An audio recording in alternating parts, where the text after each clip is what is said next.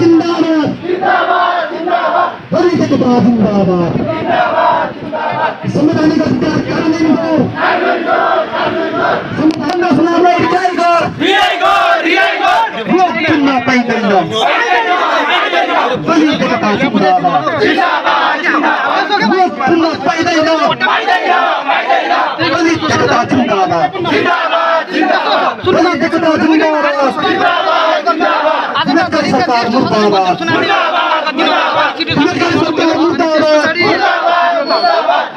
सरकार मुर्दाबाद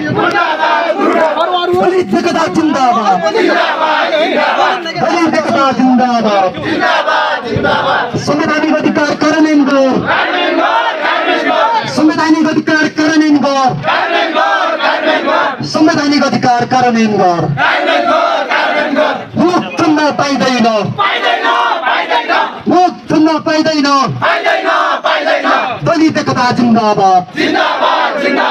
दलित एकता जिन्दाबाद। हिन्दुत्कारी सरकार मुर्दाबाद। हिन्दुत्कारी सरकार मुर्दाबाद।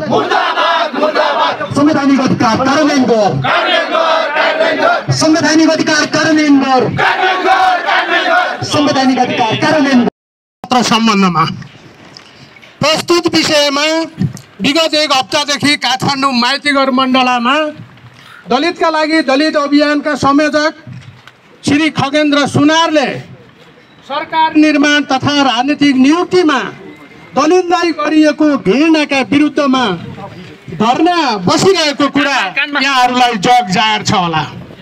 नेपालको संविधान दुई हजार बहत्तरमा दलित हक अधिकार सुनिश्चित हुँदा हुँदै पनि राज्यले दलित समुदायमाथि गरेको अन्यायको विरोध गर्दै संविधानमा लेखिएका कुरा अक्षरश पालना गरिदिन हुन हामी जोडदार माग गर्दछौँ।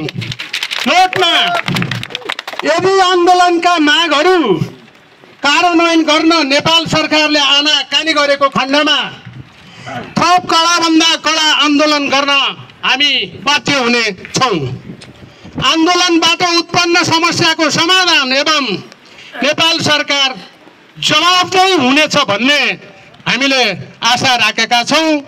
दलित युवा जुम्ला धन्यवाद। हेलो। आज हामी जिल्ला प्रशासन कार्यालय जुम्लामा जो दलितका लागि दलित अभियन्ता खगेन्द्र सुनारले विगत सात दिनदेखि माइतीघर मण्डलामा सरकारले गरेका निर्णयका विरुद्ध सरकारको जन्जिरका विरुद्ध आफूले आफ्नो शरीरमा साङ्लो बाँधेर माइतीघर मण्डलामा ऊ आफैले आफैलाई पीडा दिइरहेको अवस्थामा नेपाल सरकारले उहाँलाई हिजो दुई पन्ध्रमा